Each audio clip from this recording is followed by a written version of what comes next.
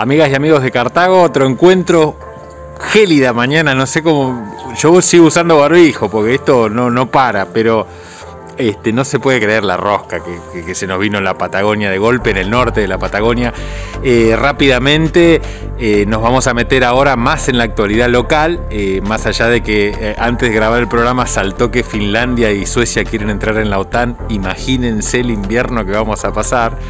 Este, un tema que nos sigue importando mucho, que es la política internacional en nuestro programa. Lo cierto es que ahora vamos a hablar mucho de lo local. Nos vamos a meter rápidamente con la gravísima situación este, de las y los docentes de Río Negro un tema que seguimos muy de cerca, nos toca muy de cerca, y una serie de trabajitos que hicimos junto a la profe Romina Iraira en eh, la volanteada que se hizo en el puente carretero la semana pasada. Eh, impactante los testimonios grabados ahí in situ, pero con esto ya queríamos arrancar porque son un montón. Este, hay lugares eh, escuelas, barrios, este, comunidades que todavía no han comenzado las clases en Río Negro. ¿eh? Mientras la gobernadora puede darse la tranquilidad de tener un avión nuevito, este, la educación pública sigue siendo saqueada y hackeada también por estos funcionarios inescrupulosos, tan amigos que son de los terratenientes, tan enemigos de la escuela pública. Con estos microinformes hechos desde el puente carretero arrancamos hoy Cartago. Hola, soy Romina Iraíra, soy docente de nivel medio y de formación docente. Me encuentro acá en los puentes carreteros eh, acompañando la medida gremial que se ha llevado adelante eh, dos jornadas. Son dos paros que se han iniciado en reclamo a bueno, los descuentos que ha iniciado de forma arbitraria el gobierno provincial y entre los ítems que venimos también a reclamar tiene que ver entre otras cosas, con eh, los, los, problemas que estamos teniendo los, las docentes en cuanto a IPROS, que es la obra social, y eh, ANSE respecto a los aportes jubilatorios. Actualmente lo que ha sucedido es que con una resolución que ha sacado el gobierno ha significado, ha impactado en la jubilación porque eh, los, las docentes eh, tienen que pagar una moratoria para poder jubilarse. Nuestro sueldo, un gran porcentaje es eh, negro, es decir, que no está blanqueado y ese sueldo lo que ha hecho es que al, hacerse los aportes a la caja jubilatoria se pague menos. Entonces, son muchos los años que para que un docente pueda jubilarse tiene que pagar una moratoria.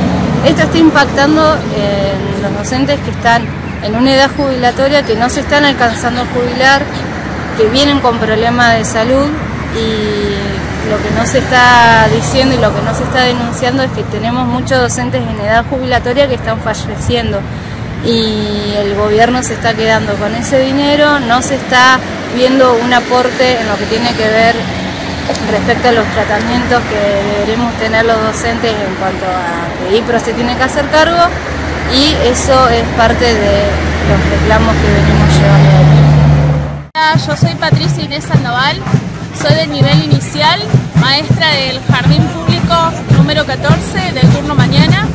Eh, estamos acá en el puente tratando de manifestarnos con los compañeros y compañeras para visibilizar el reclamo de la escuela pública.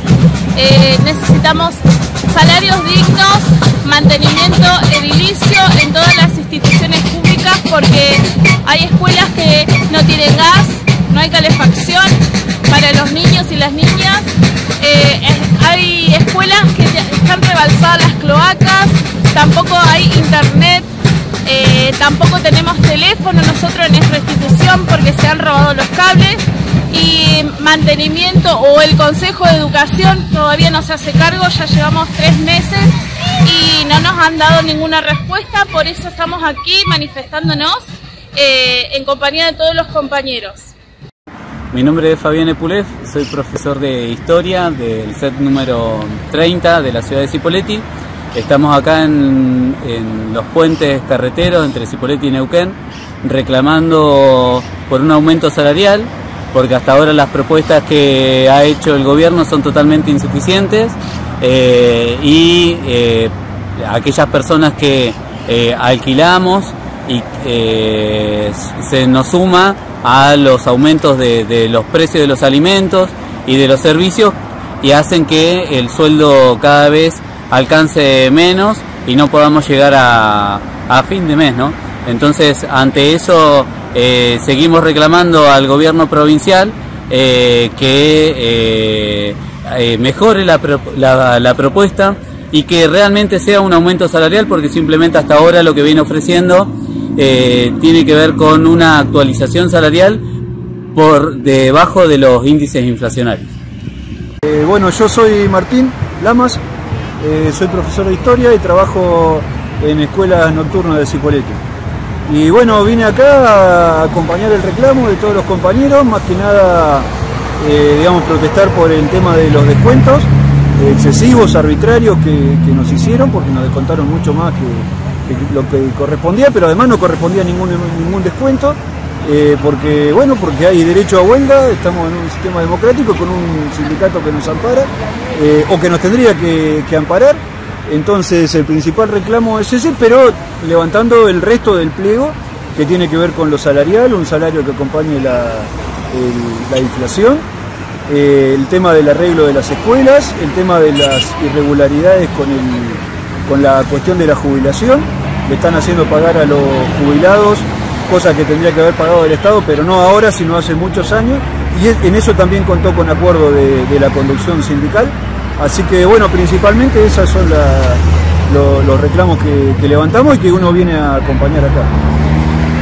Eh, soy una docente de la Escuela Rural 142 de María Elvira. Estamos acá reclamando en el puente carretero haciendo una volanteada, apoyando la lucha de los docentes que venimos llevando a cabo eh, con los paros y, con la movilización y ahora con la volanteada. La problemática que hay en la ciudad de Río, de, Río Negro y de toda la ciudad de Cipolletti son las escuelas que están en emergencia.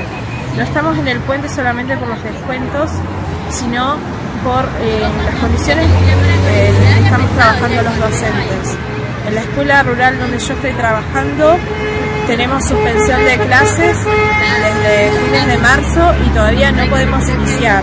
Recibimos un descuento en una conciliación y no estamos solamente por el reclamo salarial, sino no podemos iniciar las clases porque aún estando en el barrio de María Elvira nos faltan obras de gas, no hay gas eh, natural, hay gas envasado y eh, desde el gobierno no se nos provee el gas que es algo mínimo para poder dar clases. Ni siquiera tenemos una institución, estamos en dos iglesias, una evangélica y otra católica y el centro comunitario. Y, no, y estamos hoy a mayo y seguimos las mismas condiciones, las familias están esperando.